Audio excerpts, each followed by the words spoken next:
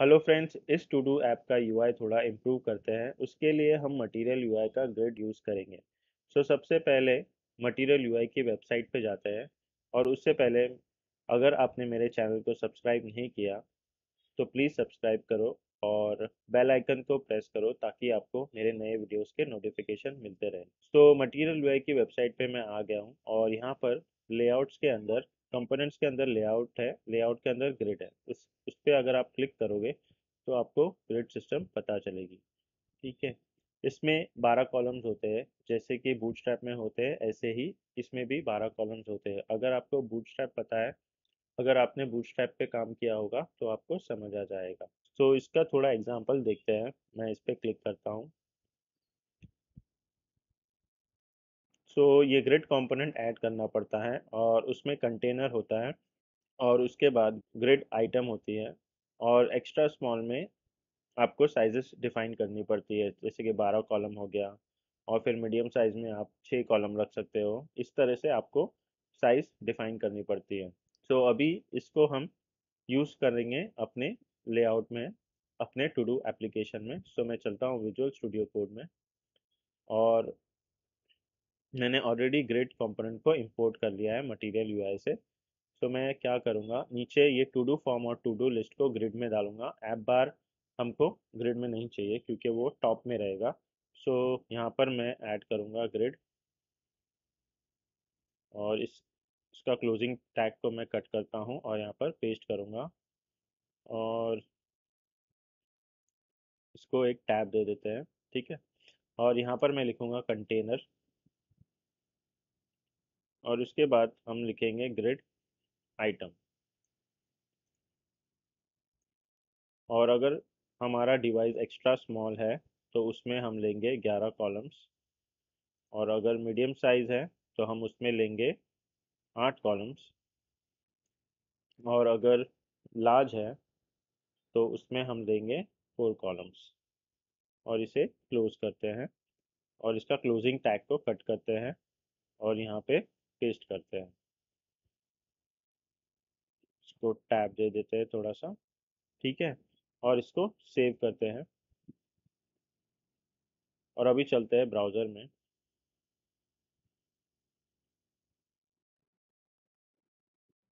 तो जैसे कि आप देखोगे लास्ट स्क्रीन में ये फोर कॉलम्स हो गया और मैं रिस्पॉन्सिव में चेक करता हूँ।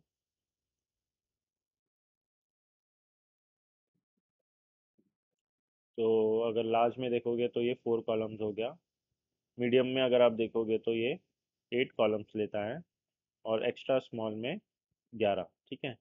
तो अभी ये सेंटर में नहीं है। तो इसको सेंटर में करने के लिए हमें विजुअल स्टूडियो कोड में चलना होगा और यहाँ पर लिखना होगा जस्टिफाई इक्वल्स टू सेंटर इसको सेव करते हैं और चलते हैं ब्राउज़र में।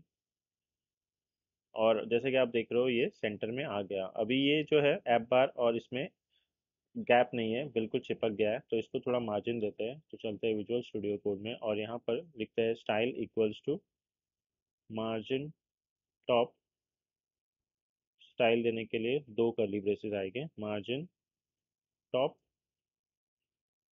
मार्जिन टॉप हम देंगे वन आर ई एम इसको सेव करते हैं और चलते हैं ब्राउज़र में। अब देखोगे ऊपर से थोड़ा मार्जिन इसको लग गया। सो so, अभी ये जो इनपुट फ़ील्ड है और ये जो लिस्ट है उन दोनों में बिल्कुल गैप नहीं है। तो उसके लिए हमें जाना होगा अपने to do form dot J S में और यहाँ पे टेक्स्ट फ़ील्ड में नहीं सॉरी यहाँ पे पेपर में हमको स्टाइल ऐड करनी होगी। मार्जिन टॉप और बॉटम से हम देते हैं वन आर ई एम और राइट और लेफ़्ट से देते हैं ज़ीरो ठीक है? इसे सेव करते हैं और चलते हैं ब्राउज़र में। तो आप देखोगे कि अभी वो स्पेस ऐड हो गया। अभी ये जो इनपुट है, वो बिल्कुल सेंटर में आ रहा है। तो उसके लिए मैं चलता हूँ अपने विजुअल स्टूडियो कोड में और ऐप डॉट जे में ये जो क्लास है, इसे मैं निकाल देता हूँ। क्लास नेम ही निकाल देता हूँ, इसकी हमें ज़रूरत नहीं है। अभी चेक करते हैं तो ये लेफ़्ट में आ गया, ठीक है? अभी चलते हैं हम हमारे to do form dot J में और इसमें पैडिंग भी थोड़ी दे देते हैं तो उसके लिए मैं लिखूँगा पैडिंग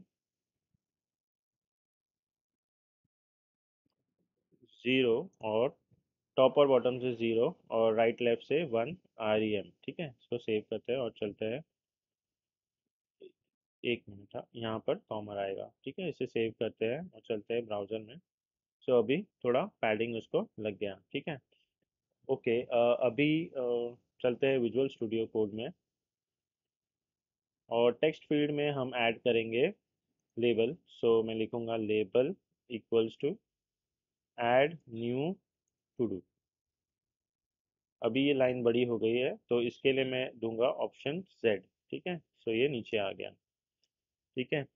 और यहाँ पर मैं दूँगा मार्जिन इक्वल्स टू नॉर्मल इसको सेव करते हैं और चलते हैं ब्राउज़र में। ठीक है अभी ये बिल्कुल परफेक्ट लग रहा है। सो so, अभी इसे रिस्पॉन्सिव में चेक करते हैं।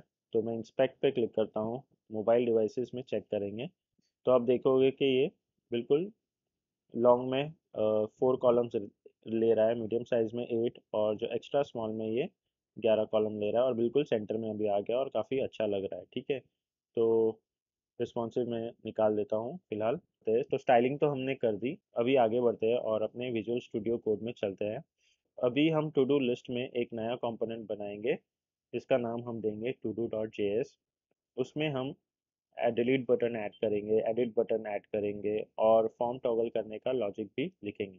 सो सोर्स फोल्डर में मैं राइट क्लिक करता हूँ और न्यू फ़ाइल पे क्लिक करता हूँ और कंपोनेंट का नाम हम देंगे to do dot J S और यहाँ पर हम इंपोर्ट लिखेंगे import react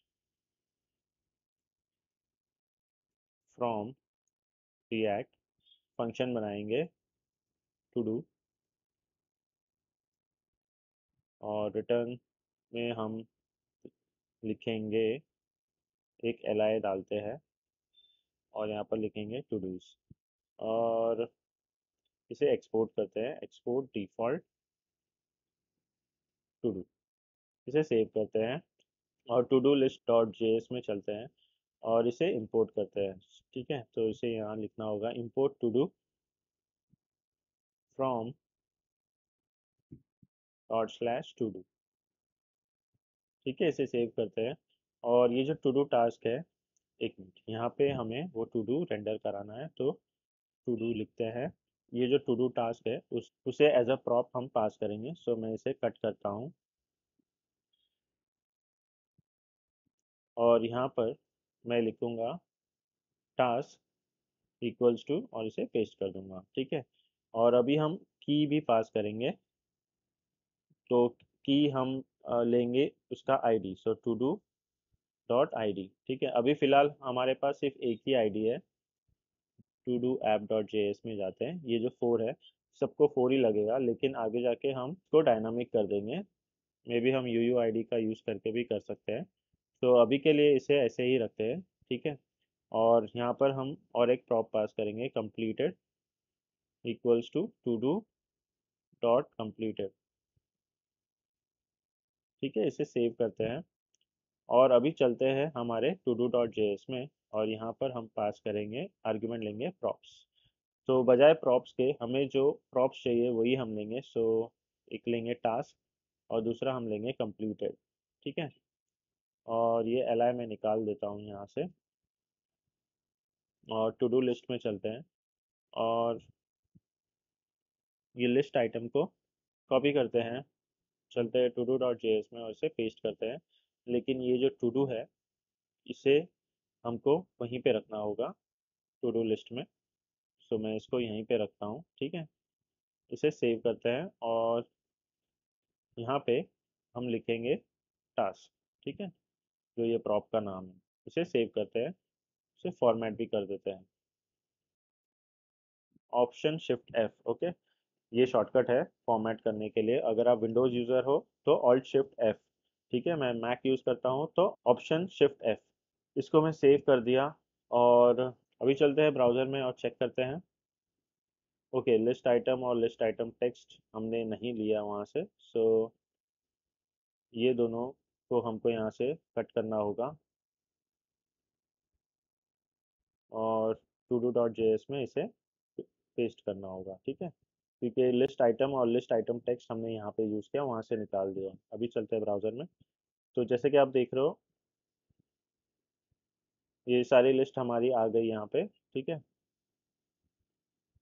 ये हार्ड कोडेड है सो ये ऐसे का ऐसा ही रहेगा, ठीक है?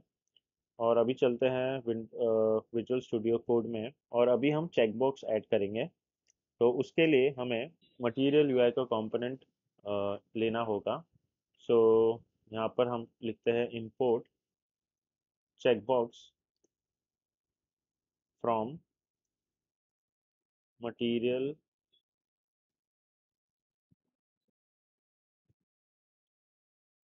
ui core slash checkbox ठीक है, और इसे लिस्ट आइटम के ऊपर यहाँ डालेंगे चेकबॉक्स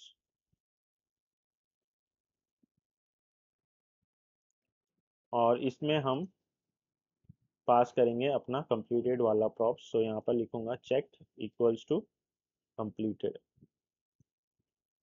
इसे सेव करते हैं और जाते हैं ब्राउज़र में और चेक करते हैं। इसको रिफ्रेश होने देते हैं। तो ये चेकबॉक्स तो लग गया।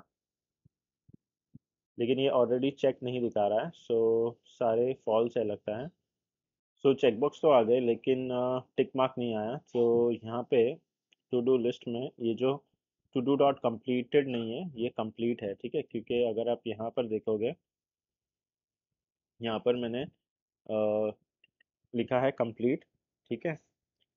तो मुझे यहाँ पे लिखना होता है लिखना पड़ेगा टू डू डॉट कंप्लीट ठीक है? सो अगर मैं अभी ब्राउज़र पे जाऊँगा तो आप देखोगे ये दोनों कम्प्लीटेड है ठीक है? और ये वर्क नहीं करेगा लेकिन क्योंकि हमने कोई लॉजिक ऐड नहीं किया। वो हम नेक्स्ट लेक्चर में करेंगे। अभी हम आगे बढ़ते हैं। तो अगर ये टास्क कंप्लीटेड है तो हम सी एस एस से इसे एक लाइन दे देंगे, एक डैश ठीक है? तो टेक्स्ट के ऊपर एक डैश आ जाएगा। तो इससे हमें पता चलेगा कि ये टास्क कंप्लीटेड हो गया। टिक मार्क तो ही के ऊपर टेक्स्ट के ऊपर एक डैश भी आ जाएगा। तो चलते हैं विजुअल स्टूडियो कोड में और यहाँ पर वो लॉजिक ऐड करते हैं। तो लिखना होगा style equals to double bracket double curly braces के अंदर लिखना होगा। क्लास का नाम टेक्स्ट डेकोरेशन। अगर हमारा टास्क कंप्लीटेड है, ठीक है? अगर ये ट्रू है सो उसे क्लास लगेगा लाइन थ्रू और अगर ये फॉल्स है तो उसको लगेगा नन ठीक है? अभी मैं ये लाइन जो है, बाहर जा रहा है तो ऑप्शन जेड सो so, अगर हमारा टेक्स्ट डेकोरेशन का क्लास कब लगेगा? जब ये टास्क कंप्लीटेड है अगर ये थ्रू है तो उसे लाइन थ्रू लगे और अगर फॉल्स है तो उसको कुछ भी ना लगे ठीक है? इसे सेव करता हूँ और चलते हैं ब्राउज़र में। तो आप देखोगे कि यहाँ पे लाइन जो डैश टेक्स्ट के ऊपर आ गया ठीक है? तो अभी एक दो चीज़ें और ऐड करनी है हमें डिलीट बटन ऐड करना है एडिट बटन ऐड करना है। तो उसके लिए मुझे चलना होगा विजुअल स्टूडियो कोड में। और मुझे यहाँ पर मटेरियल यूआई से कुछ चीज़ें इंपोर्ट करनी होगी। तो हम इंपोर्ट कर लेते हैं। Import icon button from material ui core slash icon button और और दो चीज़ें ऐड करनी है। So option shift down arrow option shift down arrow delete icon add करते हैं। फ्रॉम मटेरियल यूआई अभी आइकन्स में से हमको चाहिए कोर में से नहीं चाहिए तो हम लिखेंगे आइकन्स और यहाँ पर मैं लिखूँगा डिलीट और इसी तरह से हमको एडिट बटन चाहिए सो एडिट आइकन चाहिए तो एडिट और यहाँ पर एडिट और यहाँ पर हम हमें चाहिए आ, ये कोर में से ही लगेगा हमको लिस्ट आइटम सेकेंडरी एक्शन इसको मैं कॉपी करता हूँ। काफ़ी बड़ा कंपोनेंट का नाम है। ठीक है इससे क्या होता है कि इससे ये जो बटन है वो राइट साइड में आ जाएँगे ठीक है? सो हम इसे ऐड करते हैं। सो लिस्ट आइटम टेक्स्ट के बाद हम ये वाला कंपोनेंट ऐड करेंगे सो मैं इसे कॉपी करता हूँ और यहाँ पे इसको पेस्ट करते हैं और इसके अंदर हम देंगे आइकन बटन कंपोनेंट ठीक है? सो यहाँ पर मैं देता हूँ आइकन बटन कंपोनेंट और उसमें हम अपना डिलीट बटन देंगे सो डिलीट आइकन ठीक है? और यही आइकन बटन को फिर से कॉपी करते हैं और पेस्ट करते हैं और यहाँ पर आएगा एडिट आइकन इसको सेव करते हैं और अभी चलते हैं ब्राउज़र में और चेक करते हैं। तो जैसे कि आप देख रहे हो, यहाँ पर डिलीट बटन आ गया एडिट बटन आ गया। अभी ये वर्क नहीं करेगा क्योंकि हमने कोई लॉजिक ऐड नहीं की है, वो हम नेक्स्ट लेक्चर में करेंगे। तो इस तरीके से हमने अपना यूआई भी रेडी कर लिया है बटन्स भी ऐड कर लिया है।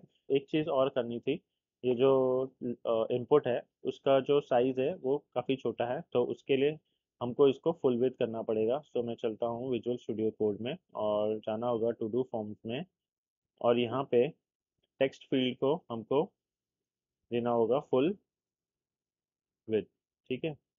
इसको सेव करते हैं और चलते हैं ब्राउज़र में। तो आप देखो ये ये फुल विथ हो गया। इसी के साथ हमने ये लेक्चर कंप्लीट कर लिया और मैं मिलता हूँ आपको नेक्स्ट वीडियो में। सो so, अगर आपको मेरा वीडियो अच्छा लगा तो प्लीज़ लाइक करें शेयर करें और प्लीज़ मेरे चैनल को सब्सक्राइब करें।